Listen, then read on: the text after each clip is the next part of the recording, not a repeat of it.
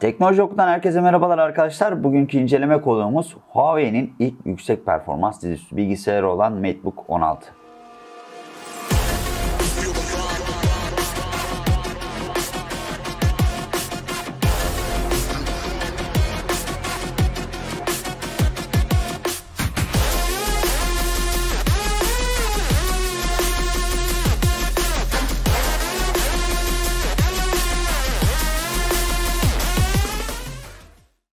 Bildiğiniz üzere Huawei bilgisayar tarafında bayağı güzel işler yapıyor arkadaşlar ve bilgisayar pazarındaki payını da günden güne arttırıyor. Bunun sebebi ise Huawei'nin gayet kullanılabilir cihazları tüketiciyle buluşturması diyebiliriz. Bugünkü MateBook 16 cihazı da aslında bunlardan birisi. Çünkü az önce de belirttiğimiz üzere Huawei'nin ilk yüksek performans dizüstü bilgisayarı. Peki bu bilgisayar bizlere neler sunuyor? Dilerseniz biraz bunlardan bahsedelim arkadaşlar. En önce incelememize tasarımla başlayalım. Genel hatlarıyla baktığımız zaman zaten Huawei'nin kendisine has bir tasarım çizgisi olduğunu biliyoruz. Yani bir cihazı biz dışarıdan gördüğümüz zaman Aa, bu Huawei'nin notebook'u diyebiliyoruz. Çünkü Huawei geçmişten günümüze belli bir tasarım çizgisi tutturdu ve bu tasarım çizgisi de kullanıcılar tarafından sevildi. O yüzden bu tasarım çizgisinde devam ediyor yoluna. MateBook 16'ya baktığımız zaman genel Huawei'nin tasarımsal hatlarını taşıyor diyebiliriz. İnce çerçeveye sahip bir ekran, gayet güzel konumlandırılmış arka aydınlatmaya sahip klavye, geniş bir mousepad alanı ve tabii ki fonksiyonel çıkışlar. Bilgisayara ilk baktığımız zaman dikkatimizi çeken şey arkadaşlar geniş ekran oluyor. Burada 16 inçlik 2520 x 1680 piksellik bir ekranımız mevcut. Bu ekranın piksel derinliği ise 189 ppi. Ekrana baktığınız zaman çerçevelerin ne kadar ince olduğunu görebiliyorsunuz. Gerek yan çerçeveler gerekse alt ve üst çerçeve son derece ince konumlandırılmış. Burada arkadaşlar Huawei'nin kullandığı ekran gövde oranı ise yaklaşık olarak %90. Bu oranın gerçekten etkileyici olduğunu söyleyebiliriz. Huawei bunu yaparken ne yapıyor?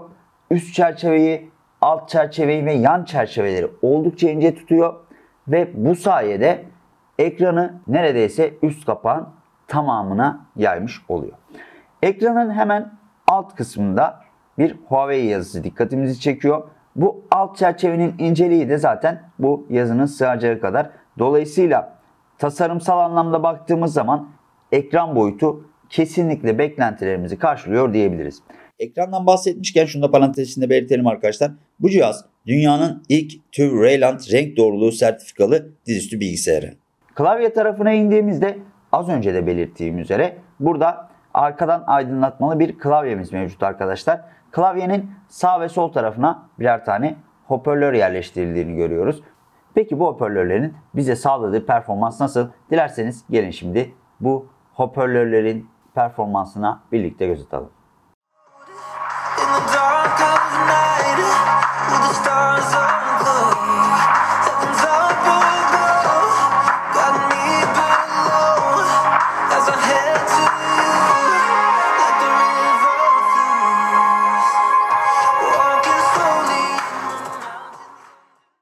Cihazda iki hoparlörün yanı sıra iki tane de mikrofon bulunuyor. Yan taraflarda ise tabii ki girişlerimiz konumlandırılmış durumda. Buradaki girişlere ayrı bir parantez açmak istiyorum yeri gelmişken. 2 adet USB-C girişimiz mevcut. 1 adet HDMI, 2 adet de USB-A yani USB 3.2 Gen 1 girişimiz bulunuyor arkadaşlar. Merak edenler için şunu da söyleyeyim. Huawei kulaklık girişine de yer vermeyi ihmal etmemiş. Yani bu cihazda 3.5 mm'lik bir kulaklık girişi de bulunuyor. Bunu neden söylüyorum? Çünkü artık bazı bilgisayarlarda 3.5 mm'lik kulaklık girişine yer verilmemeye başlandı. Sanki herkeste Bluetooth kulaklık varmış gibi kulaklığa yer vermiyorlar. Kulaklık girişine yer vermiyorlar. Fakat Huawei burada kulaklık girişi koymayı da ihmal etmemiş. Bu da önemli bir artı diyebiliriz bizler için. Bu arada tasarımdan bahsetmişken şunlara da değinmeden geçmek istemiyorum. Huawei yine bu cihazda da klavyeye gizlediği bir kameraya yer vermiş. Biliyorsunuz Huawei cihazlarında genel itibariyle çerçevenin üst kısmında bulunmuyor. Ne yapıyor Huawei? Burada F6 ve F7 tuşlarının arasına bir adet kamera butonu yerleştiriyor. Bu butona bastığınız zaman kamera açılıyor ve herhangi bir görüntülü konuşma vesaire yapacağınız zaman kamerayı aktif hale getirebiliyorsunuz. Bunun şöyle bir artısı var arkadaşlar. Biliyorsunuz günümüzde pek çok kişi bilgisayarının kamerasının bulunduğu kısımlara bantlar falan yapıştırıyor. Neden? Çünkü kendisini güvende hissetmiyor insanlar. Yani her an birisi bilgisayarıma bir trojan atabilir, başka bir virüs dosyası atabilir ve bu virüs dosyasıyla benim haberim olmadan beni izleyebilir düşüncesindeler. Bu yüzden de kameraya, bilgisayara güvenmedikleri için ne yapıyorlar? Buradaki kamerayı bir bantla kapatıyorlar. Eminim buna siz de tanık olmuşsunuzdur. Burada Huawei'nin artısı ne? Klavye içerisine gizlendiği için kamera. Sizin isteğiniz dışında bu kameranın sizi çekme şansı bulunmuyor arkadaşlar. Çünkü siz buradan kamerayı açmadığınız sürece kameranın sizi çekme ihtimali yok. Bu yüzden kameranın da klavyeye gömülü olarak gelmesi bizler için önemli bir artı diyebiliriz. En azından burada kalkıp da monitöre falan bant yapıştırma gibi demode bir yönteme ihtiyaç duymuyoruz. Neden? Çünkü burada tuşa gizlenmiş durumda kameramız bastığımız zaman açılıyor, bastığımız zaman kapanıyor. Tasarımdan bahsetmişken cihazın şık bir metal kaseyle geldiğinde sizlere belirtelim arkadaşlar. MateBook 16'da daha pürüzsüz, daha şık yüzey için CNC seramik kumlama işlemi kullanılmış. Bu sayede cihaz yüksek mukavemetli alüminyum alaşımlı bir metal gövdeye sahip olmuş. Bunun yanı sıra güvenlikle ilgili değinmek istediğim bir nokta daha var. O da parmak izi okuyucusu. Bu cihazda parmak izi okuyucusu da mevcut. Dilerseniz şifre girmeyle uğraşmak yerine ne yapabiliyorsunuz arkadaşlar? Parmak izi okuyucusunla hemen bilgisayarınızı açabiliyorsunuz. Ayrıca bazı uygulamalarla yine parmak izi okuyucusunun desteğiyle birlikte dosyalarınızı şifreleyebiliyorsunuz. Bu uygulamalar parmak izi okuyucusuyla dosyalarınızın açılmasını sağlıyor. Yani nedir? Siz önemli bir klasör üzerinde çalışıyorsunuz. Atıyorum bu klasörü şifrelediniz.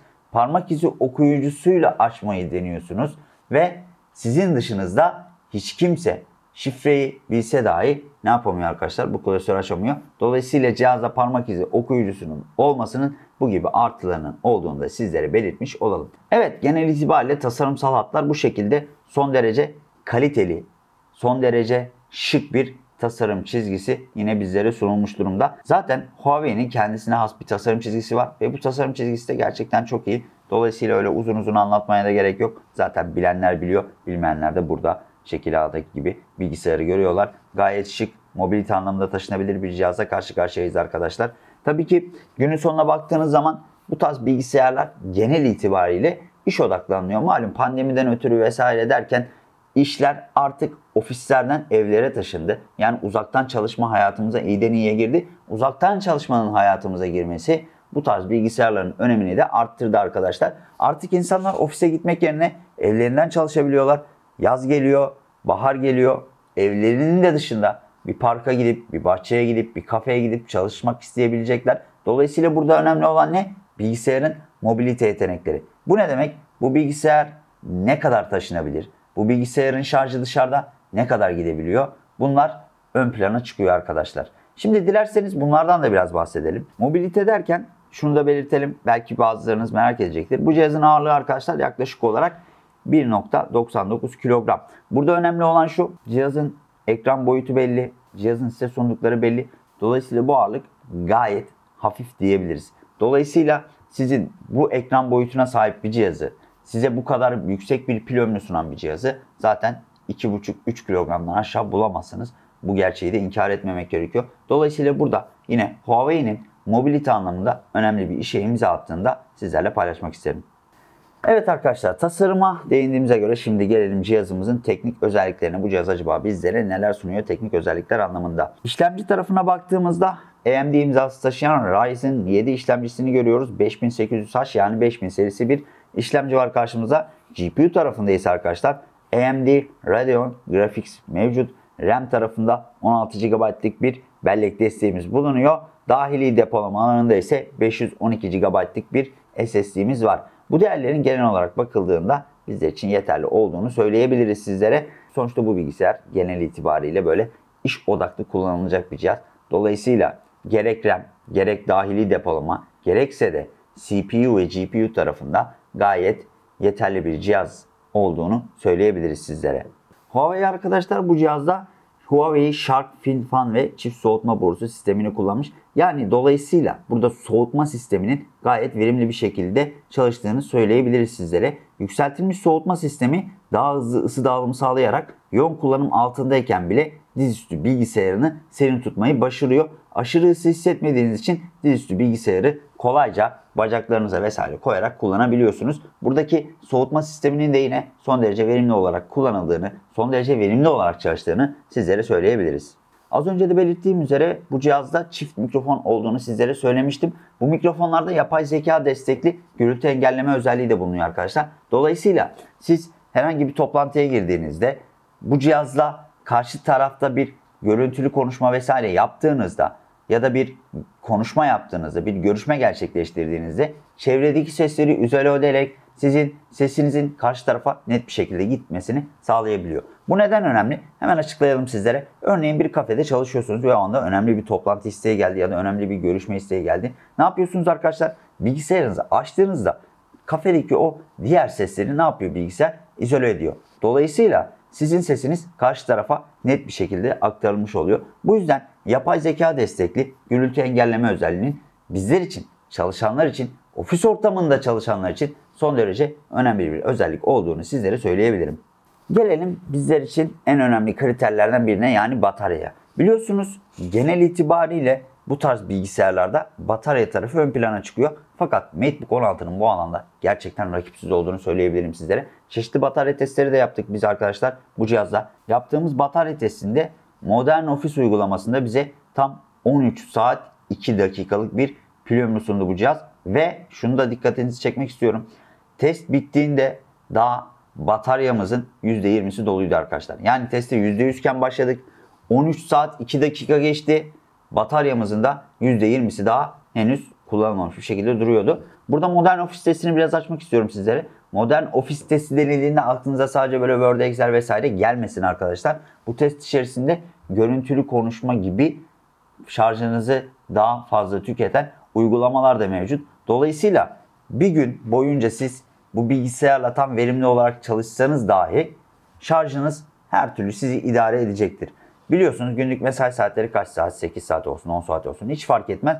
Bu cihaz arkadaşlar sizi tamamen gün boyunca götürebilecek pil kapasitesine sahip. Şunu da sizlere dipnot olarak belirtelim.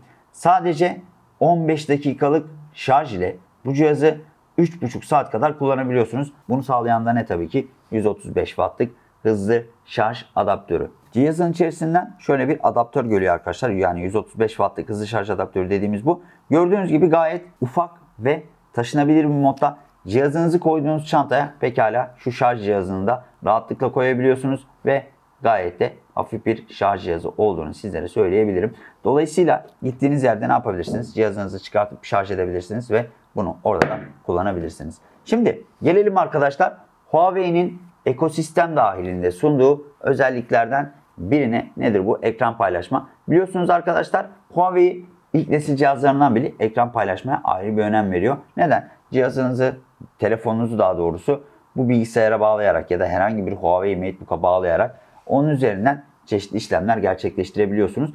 Huawei şehir sayesinde arkadaşlar akıllı telefonunuz bir mobil disk haline gelebiliyor. Yani ne yapabiliyorsunuz? Telefondaki dosyalarınızı direkt olarak dizüstü bilgisayarda açıp düzenleyebiliyorsunuz. Çalışırken telefonunuzu bir kenara bırakıp ayrıca telefon kilidini de oradan MacBook'tan açabiliyorsunuz. Bu son derece önemli bir özellik diyebiliriz sizlere.